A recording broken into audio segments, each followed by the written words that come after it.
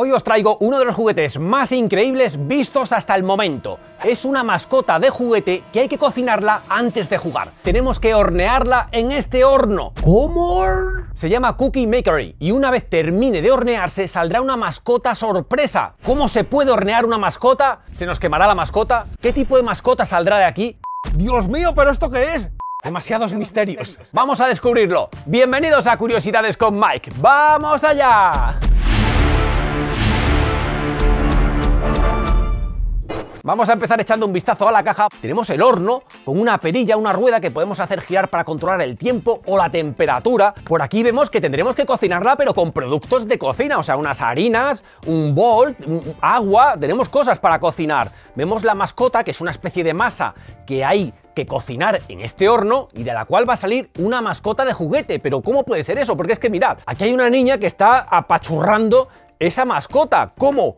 Esta masa se va a convertir en esto. La masa se puede convertir en distintos tipos de mascotas, como por ejemplo un perro, un conejo o un gato. Y si seguimos echando un vistazo a la caja, tenemos los pasos a seguir para cocinar este juguete. Tenemos que echarlo todo en un bol, cocinarlo, hacer una masa, meterla en el horno y saldrá ese juguete tan esperado. Vamos a abrirlo ya en la parte inferior tiene unos tornillos amarillos que hay que extraer. ¡Wow! Cuesta sacar un poquito estos tornillos amarillos. Quizás necesitemos la ayuda de un ingeniero para sacarlo, ¿eh? Y ya tenemos nuestro horno liberado de la caja. Ahí está. Vamos a abrirlo y ver qué es lo que hay dentro. 3, 2, 1... Unos papeles. A ver, a ver, vamos a extraerlo todo. A ver una cajita. Hay más cartones que no sirven para nada, pero sí los vamos a reciclar después. Más cartones. Y no hay nada más. Esto que parecen unos sobres son realmente las instrucciones. Están en italiano, francés, español y otros idiomas. Vamos a español y leemos libro de recetas, instrucciones. Así que tendremos el libro de instrucciones con formato libro de recetas. Primero el desembalaje. Se incluyen dos sobres de ingredientes de juguete. También tenemos el molde en forma de mascota, una espátula, la bolsa para guardar los ingredientes, un vaso medidor, tendremos el horno al que hay que extraer esos tornillos que tanto nos ha costado y lo que no incluye es el agua y un bol. Así que voy a por ellos. Y aquí vengo ya con el agua y el bol. Ahora abrimos esta caja porque en el interior hay unos sobres que tenemos que mezclar en el bol que acabo de coger. ¡Wow, wow, wow! Espérate, que aquí hay muchísimas cosas. Este es el molde en forma de mascota. Estos dos sobres que son los que utilizaremos para hacer la masa. Una masa se va a convertir en una mascota apachurrable que, creo que hace ruidos y cosas y todo, ¿eh? o sea, increíble, esto es mágico. También tenemos este cacito que utilizaremos para medir, también tenemos esta cucharita y una bolsa para guardar la masa. Empezamos vertiendo todo el contenido de estos sobres dentro del bol. En este sobre se indica que esto no es para comer, no es una masa para comer, no es comestible, ¿eh? puesto que de ella va a salir realmente un peluche. Mirad, salen unos polvos naranja. De este otro sobre me imagino que saldrán unos polvos azules. Vamos a ver, abrimos, así, y no, pues salen también unos polvos naranja, es igual. Ahora tomamos, me estoy riendo porque es que acabo de ver que el cacito tiene una carita de gato. Bueno, pues tenemos que llenar el cacito con agua hasta arriba. Con cuidado, hasta ahí. Y esto es lo que vamos a verter dentro del bol. Bueno, estamos aquí cocinando, esto es increíble. A continuación tenemos que amasar estos polvos con el agua durante aproximadamente unos dos minutos. Así que vamos allá. Vamos a cocinar aquí nuestra mascota. Yo creo que falta un poco de agua, pero bueno, vamos a seguir amasando. Han dicho solamente un cacito, ¿eh? Podemos amasar también con las manos. Recuerda un poquito a la arena mágica. Se supone que esta masa, después de cocinarla en el horno, se va a convertir en un peluche apachurrable, en una mascota apachurrable, un juguete apachurrable que incluso va a emitir sonidos. Pero es que esto va a ser magia, porque vamos a ver, en estos polvos eh, no hay tejido, no hay pilas, no hay cables, no hay nada y no sé cómo se va a convertir esto en algo que pueda llegar incluso a funcionar, ¿eh? Esto es lo más mágico que hemos visto hasta el momento, ¿eh? Ya tenemos la masa bastante bien, apenas han pasado unos minutos y esto ya está listo. Mira, ha quedado genial. Retiramos el bol y lo siguiente es tomar nuestra masa y hacerla una bola, así con las dos manos.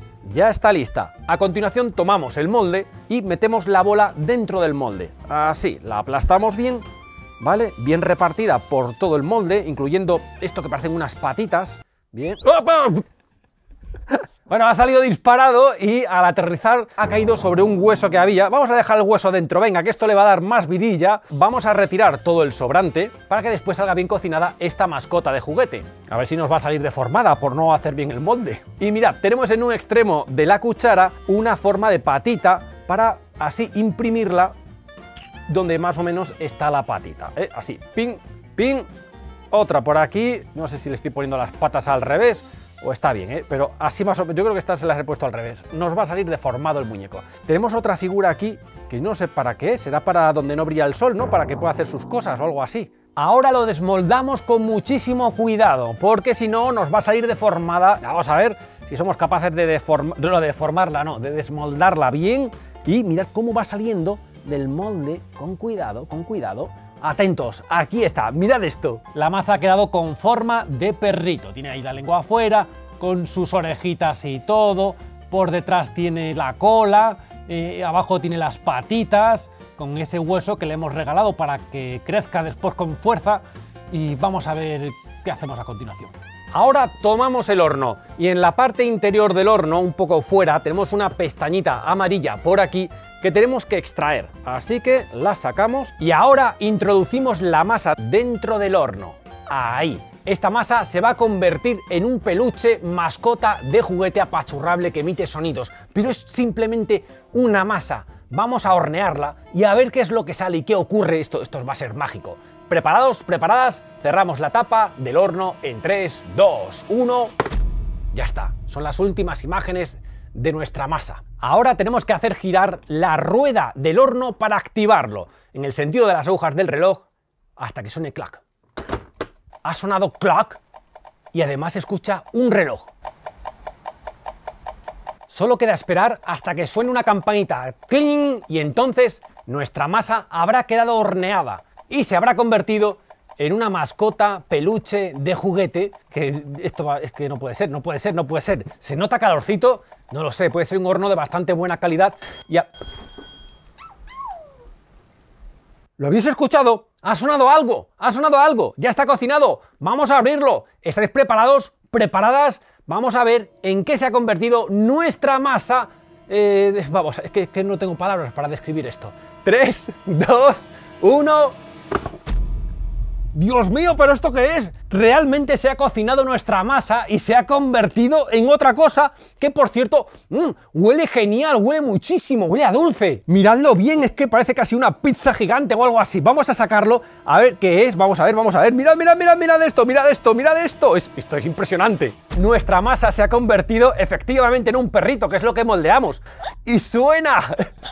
Podemos tocarlo, apachurrarlo. Oye, está un poco caliente esto, ¿eh? Este hornearlo, oye, se ha calentado por aquí, está calentito. ¿A qué crees que se parece este perro? Porque es mitad perro, mitad no sé, no sé qué, dulce es este, ya me lo diréis. Eh, tiene aquí un poquito de nata o algo así. Las patitas al final le han salido bien, aunque se las he puesto creo que torcidas, pero bueno. Y el hueso que le metí es posible que se haya convertido en el esqueleto que estoy tocando, porque dentro, además es que está calentito por aquí, ¿eh? eh, eh dentro hay cosas duras. Y además emite sonidos cuando lo apachurro. Huele genial, huele fenomenal. Espera que esto se pone interesante, dice, con un abrazo de 3 segundos emitirá calor durante 2 minutos. O sea que cuando haga mucho frío en invierno, te llevas esto, te lo metes en un bolsillo, lo apachurras, 1, 2, 3 y empezará a emitir calor durante dos minutos y puedes calentarte las manos. Sirve como calentador de manos en invierno. Y esto es una maravilla, ¿eh? Lo malo es que emite sonidos, va a ser un poco raro. Realmente estoy tan intrigado como vosotros, como vosotras, por cómo ha funcionado esto, cómo nuestra masa se ha cocinado. ¿Queréis que veamos qué hay dentro? Al fin y al cabo, este canal en un principio era qué hay dentro y lo ha continuado siendo. Investigamos siempre qué es lo que hay dentro de las cosas, cómo funcionan, y este caso no va a ser menos. Por lo tanto, vamos a empezar a investigar cómo se ha convertido nuestra masa en una linda mascota peluche de juguete. Vamos a ver, vamos a meter por aquí la mano a ver si encontramos algo o nuestra mano se convierte en una mascota. Aquí abajo hay una pestañita que parece como que pudiéramos sujetarla y hacer algo con ella. Tirar. Tiramos a ver qué ocurre. Venga, 3, 2, 1. Tiramos hacia arriba y ¡tachán! ¿Qué tenemos por aquí? Tenemos nuestra masa en el interior. Vamos a sacarla y creo que hemos descubierto el pequeño truco de este juguete. Se basa en un ascensor. Colocamos la masa en el interior, cerramos la compuerta, accionamos de nuevo el temporizador y en ese momento baja el ascensor. Vamos a verlo. ¿Veis? Acaba de bajar ese ascensor que hemos subido y nuestra masa queda aquí abajo. Ahí está. ¿Veis? Ahí asoma. Mientras que el peluche estaba en la parte superior, de manera que este juguete podemos utilizarlo una y otra vez. Ahí vemos cómo lo he encajado en la parte superior. Cerramos de nuevo, lo accionamos y ese clac que escuchamos es el ascensor bajando. ¿Veis? ¡Tachán!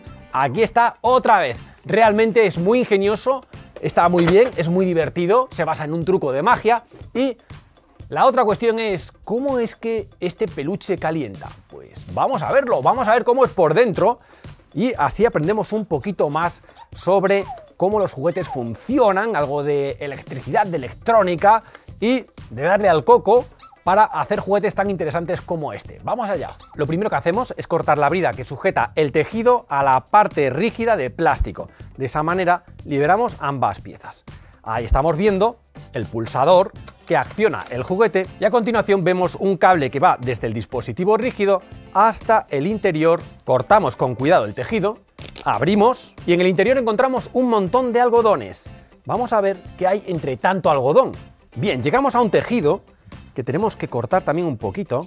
Vamos a ver, así. Y accedemos al interior, donde empezamos a ver el mecanismo que hace que este peluche se caliente. ¿Veis aquí un circuito serpenteante? Pues esto es una resistencia que emite calor cuando pulsamos el botón durante unos segundos. Y ahora estoy notando el calor, estoy notando calorcito, pero ¿cuánto calor emite? Vamos a verlo con la cámara termográfica. Mirad, ahí estáis viendo la temperatura a la cual está esta resistencia que emite calor y que hace que este peluche se ponga calentito cuando lo abrazamos. Hay lugares en los que está a unos 50, 60 grados. Oye, no está nada mal, ¿eh? E incluso llega a los 70 grados en algunos puntos. No hay que alarmarse porque es un juguete completamente seguro y este calentador, esta resistencia, igual que la de una manta eléctrica, pues está bien dentro, bien protegido en unos saquitos de tela y entonces no supone ningún peligro. Está completamente cosido, pero bueno, podemos intentar descoserlo un poquito para ver cómo es exactamente por dentro. ¿Veis? Así está.